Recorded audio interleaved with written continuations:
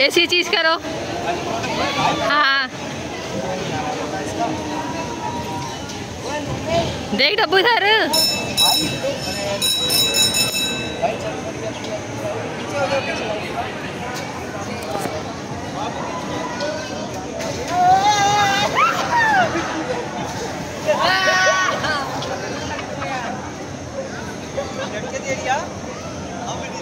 पहली बार